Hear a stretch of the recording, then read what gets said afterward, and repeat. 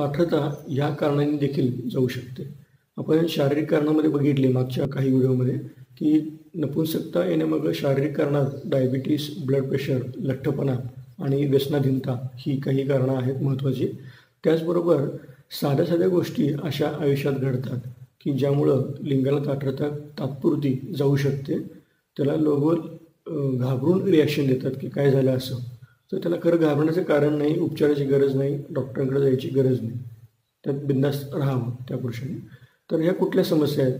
तर अशा घटना घडतात प्रायव्हसी नाही किंवा लहान बाळ झोपलेलं आहे किंवा मोठी व्यक्ती आहे ती पटकन तिथं उठणं किंवा दारावर टकटक वाजणं मोबाईलचं बिल बेल वाजणं किंवा एकदमच कंबर दुखली पार्टनरची म्हणून पार्टनर थोडंसं एक्सप्रेशन चेंज करतो त्यावेळी.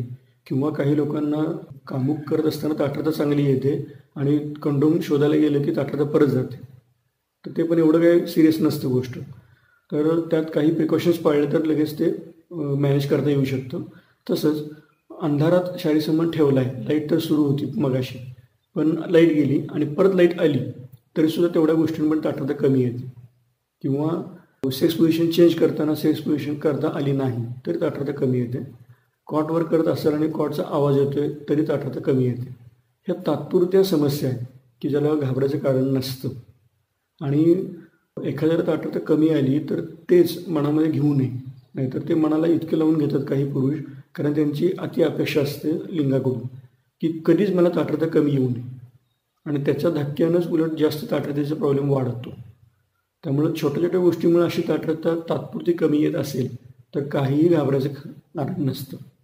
अशा प्रकारचे काही तुम्हाला प्रश्न मनामध्ये उपस्थित असतील तर नक्कीच कॉमेंट बॉक्समध्ये कॉमेंट करा.